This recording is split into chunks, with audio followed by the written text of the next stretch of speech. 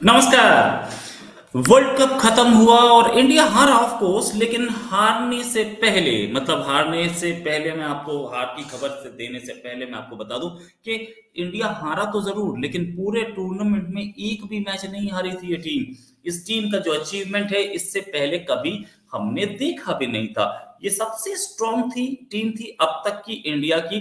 एक दिन, या बोलिए कि कल का दिन ही किस्मत ऑस्ट्रेलिया की चल गई और इंडिया हार गई, वरना इंडिया ने ऑस्ट्रेलिया को इसी टूर्नामेंट में हराया था और बहुत बुरा हराया था, जरा स्टैटिस्टिक्स देखिए। ये टीम सबसे बढ़िया टीम थी, बहुत अच्छी टीम थी, बड़ी मेहनत की और बहुत अच्छा खेली। फाइनल में हार गए, कोई फ़र्क नहीं पड़ता, कोई फ़र्क नहीं पड़ता। लेकिन एक चीज़ और कि इस टीम ने जो परफॉर्मेंस दिखाई है, पाकिस्तानी जल जल के खाक हो गए थे। और कल इंडिया हारा। इसके बाद पाकिस्तानी बड़े खुश दिख रहे थे। क्यों खुश दिख रहे थे? इसलिए खुश दिख रहे थे कि इंडिया हारा। अच्छा पाकिस्तानी वो कौम है कि अपना बेटा भले ही फेल हो जाए, लेकिन पड़ोसी का नहीं, वो सात समुंदर पार दूर, ऑस्ट्रेलिया का बेटा पास हुआ। यस तो जश्न बनेगा इनका अपना बेटा तो फेल हो गया टीम हारी सेमीफाइनल तक नहीं पहुँच पाई। लेकिन इंडिया फाइनल में हारी इसका जश्न। सारे न्यूज़ चैनल जश्न मना रहे थे। सारे न्यूज़ चैनल बड़े खुश थे कि इंडिया हार गया। अरे यार, तुम तो सेमीफाइनल तक नहीं पहुँच पाए। अपनी तुम्हारी क्या हालत थी? तुम तो छोटी छोटी टीमों से हारे। उसके बाद तुम इंडिया के हारने पे जश्न मना रहे हो। वो भी फाइनल में। फाइनल में पहुँचने वाले ही तो शेर होते हैं। बाकी गीदड़ तो पहले ही निकल गए। खैर एनीवेज मैं उनके ऊपर क्या बोलूँ? इन, इनको इनको शर्मया भी कुछ नहीं है और इनको पता भी कुछ नहीं है। ये ये वो लोग हैं जो सिर्फ़ एंटी इंडिया एजेंडे पे गेम खेलते हैं और इनको पता है कि इनकी क्या हालत है। फिर आगे आप बात करते हैं। इंडियन इकोनॉमी हो गई फोर ट्रिलियन डॉलर इकोनॉमी ये खबर बड़ी अच्छी है और इस खबर के पीछे की कहानी मैं आपको बताऊँगा। कल सारे दिन ये खबर घूमती रही, लेकिन क्या है असलियत इस खबर की? एक यूट्यूब चैनल जो कि सारे कंट्रीज़ की इकोनॉमी वो हर सेकंड पे कितना बढ़ रही है, वो बताती है। वो, ये हर सेकंड पे कितना बढ़ रही है, ये कैसे बताती है? ये चीज़ है कि पिछले साल इकोनॉमी कितना बढ़ी, और इस साल वो कितनी बढ़ेगी? उसको टोटल को सपोजिंग एक इकोनॉमी है, वो हंड्रेड बिलियन डॉलर से बढ़ती है। अब वो हंड्रेड बिलियन डॉलर्स को तीन सौ पैंसठ दिन से डिवाइड करेगा। तीन सौ पैंसठ दिन से डिवाइड करने के बाद उसको फिर उसके बाद वो डिवाइड करेगा। चौबीस से घंटे की जीडीपी आ जाएगी। उसको फिर वो डिवाइड करेगा साठ से तो मिनट की जीडीपी आ जाएगी कि एक मिनट में कितना बढ़ रही है। और उसको फिर साठ से डिवाइड करेगा तो हर सेकंड की आ जाएगी कि इस सेकंड में कितना डॉलर बढ़े। इसी हिसाब से वो प्रोजेक्शन देती ये ये जो यूट्यूब चैनल है ये प्रोजेक्शन देता है कि अगले साल तक ये इकोनॉमी यहाँ पहुँच जानी चाहिए।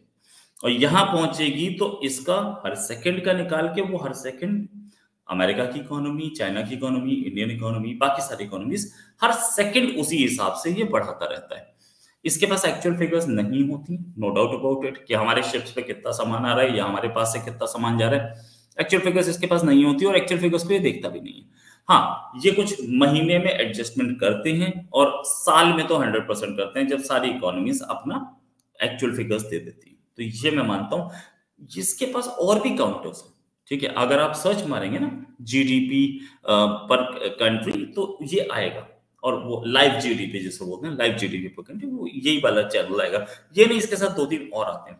वो दो तीन जो और आते हैं, कोई नॉन मिनल देता है, कोई पीपीपी देता है, ये है जो एक्चुअल टर्म्स में देता है।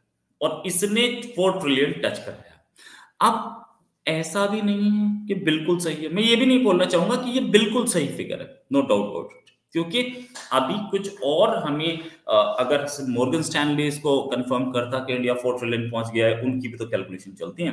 लेकिन उनका कोई यूट्यूब चैनल नहीं चलता है। साथ में मॉर्गन स्टैनली ना हो तो दूसरा कोई हो गोल्डमैन सैक्स हो, वो बताए, बताएँगे। ये लोग भी बताएँगे। और गवर्नमेंट ऑफ़ इंडिया खुद भी बताएगी।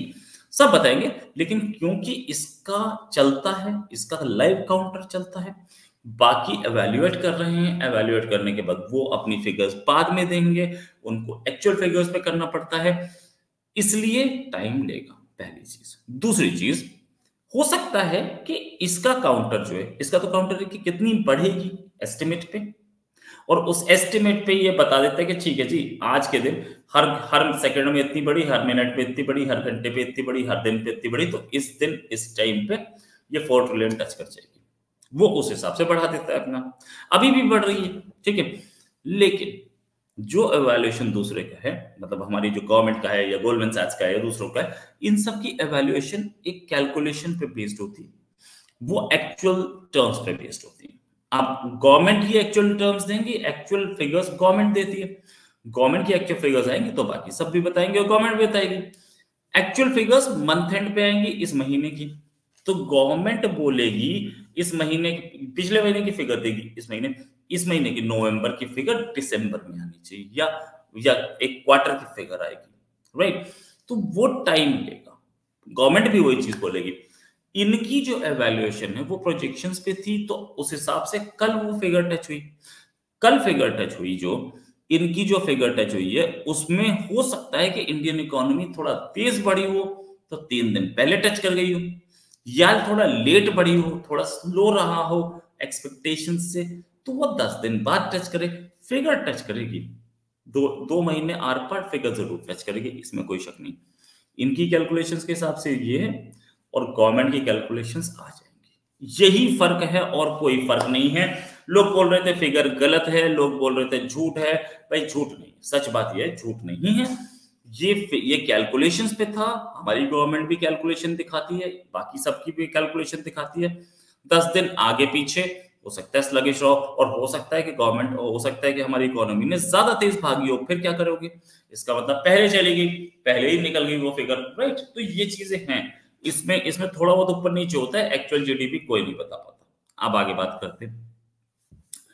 आगे ये कि एक कार्गो शिप जो है वो होदी रेबल्स ने हाईजैक कर लिया। ये इसराइल का था और टर्की से इंडिया आया था। अभी तो हाईजैक कर लिया है टर्की भी फंसा है और इंडिया भी अपने काम में है और साथ में वहाँ पर इसराइल भी फंसा है। इस पे एक्शन ज़रूर लिया जाएगा। बहुत गलत काम हुआ है। आ, ये होदी रेबल्स जो हैं ये यमन के हैं और ये सऊदी अरेबिया को भी परेशान करते रहे दूसरों को लेकिन इसराइल का शिप है इंडिया आ रहा था टर्की से आता एक्शन ज़रूर लिया जाएगा इनको ज़रूर छुड़वाया जाएगा। इसमें मामला आपको देखना पड़ेगा। एक्शन जल्दी होगा। अब तीसरी खबर एक और खबर। टीटीपी फाइटर्स ने पाकिस्तानी सिक्योरिटी फोर्सेस के को मर्दान में पुलिस स्टेशन पे बन्नू डिस्ट्रिक्ट पाकिस्तान में अटैक किया है और कुछ पाकिस्तानी सिक्योरिटीज को आ, आ, कुछ पाकिस्तानी फोर्सेस को प्रॉब्लम भी झेलनी पड़ी है। मतलब कुछ मारे गए हैं, कुछ बच्चे हैं कुछ के ऊपर, कुछ कैजुअलिटी हुई। बन्नू की पूरी कैजुअलिटी जैसे ही सामने आएगी, हम आपको ज़रूर बताएँगे, लेकिन उससे पहले बलूचिस्तान के किंग्स डिस्ट्रिक्ट में तीन आईएसआई के ऑफिसर्स को मारा गया। ये भी ये भी बलूच लिबरेशन आर्मी का या बलूच लिबरेशन फ्रंट का काम है। दो में से एक का काम है, तीसरे का नाम है। हमें अभी तक नहीं पता, लेकिन आ जाएगी खबर आपके पास। पाकिस्तान इसे ब्लैकआउट कर देता है, इसलिए मैं बता रहा हूँ। ये जो हुआ है, ये उनके फ्रीडम फाइटर्स ने किया, लेकिन हाँ मैं एक चीज़ ज़रूर बोलना चाहूँगा कि किसी भी तरीके की वायलेंस ठीक नहीं है, मैं उसको सपोर्ट नहीं करता, लेकिन पाकिस्तान जो हमारे कंट्री में ना, उस पर वो जश्न मनाते हैं, शर्मानी चाहिए उन लोगों को? हम जश्न नहीं मनाते, हम सिर्फ़ खबर देते मैं खबर ही दे रहा हूँ। मैं कोई जश्न नहीं मना रहा, वो जश्न मनाते कि हाँ इंडियन मारा गया। ये शर्म उन्हें नहीं आती, है ना? हम तो करते हैं, हम अपना काम करते हैं, हम खबर देने का काम करते हैं। तीन जो आई ऑफिसर्स मारे गए हैं, वो उन तीनों को आईडी से बलूच फ्रीडम फाइटर्स ने मारा है। बलूच फ्रीडम फाइटर्स अपना काम कर रहे हैं और मैं उन पे कुछ नहीं बोलूँगा, लेकिन हाँ ये ज़रूर है कि पाकिस्तान ऐसा कंट्री है, जिसने सबको धोखा दिया, बलूचियों को भी धोखा दिया, सबको धोखा दिया तो वो झेलेगा भी। जो काम उसने किया है, वो झेलेगा भी। अच्छा एक चीज़ और। पाकिस्तान ने धोखा रशिया को दिया था, अब हमस और फिलिस्तीन को भी दिया। रशिया को धोखा ऐसे दिया था कि रशिया से गेहूँ लिया, रशिया से तेल लिया और रशिया के खिलाफ ही यूक्रेन को वेपन्स दिए। ये काम किया उसने। दूसरी चीज़ अब पाकिस्तान ने हमास के खिलाफ, यानी कि फिलिस्तीन के खिलाफ इसराइल को वेपन्स दिए।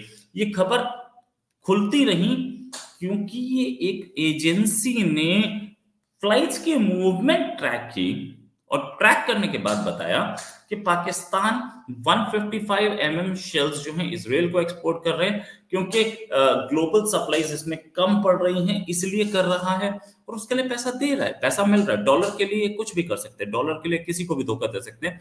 फालतू तो मुस्लिम उम्मत चीखते फिरते हैं ना ये, इन्होंने किसी मुसलमान का साथ नहीं दिया। और ये खबर सबके सामने है। और खबर जो है ब्रिटिश एयरफोर्स का R R R six six six four, ये प्लेन उड़ा। पहले उड़ करके बहरीन से रावलपिंडी गया, वहाँ पे नूर खान एयरबेस में इसमें हथियार रखे गए। वहाँ से ये बहरीन गया, बहरीन से ये ओमान गया, और ओमान से साइप्रस गया, और साइप्रस से वहाँ से सामान निकाला गया इसमें से, और वो इसराइल भेज दिया गया। बड़े शर्म की बात है कि ये जो मुसलमान और मुस्लिम उम्मा बोलते हैं, इन्होंने अपने मुस्लिम उम्मा को ही धोखा दिया। लेकिन ठीक है, सब जो करते हो, सामने बोलो इंडिया ओपनली आया सामने इंडिया ने ओपनली बोला कि हम फिलिस्तीन के सपोर्ट में नहीं है। हम इसराइल को सपोर्ट कर रहे हैं, लेकिन इंडिया ने यह भी बोला कि फिलिस्तीन के आदमी जो उनको उनको लोगों को इनसेंट लोगों को बचाना चाहिए। हमास के खिलाफ था और इसे टेररिस्ट अटैक बताया इंडिया सीधे सीधे सपोर्ट में आया इसराइल के।